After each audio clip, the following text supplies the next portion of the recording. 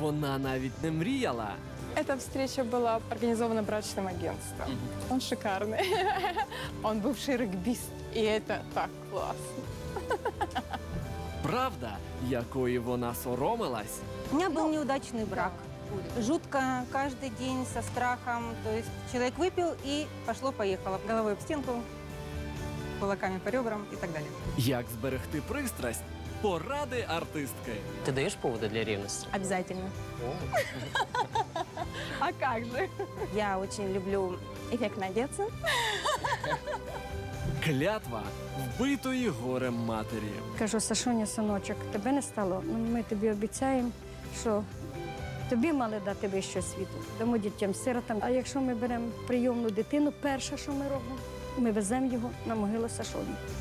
Невигадані історії про життя, мрії та любов у програмі Люблю, чекаю.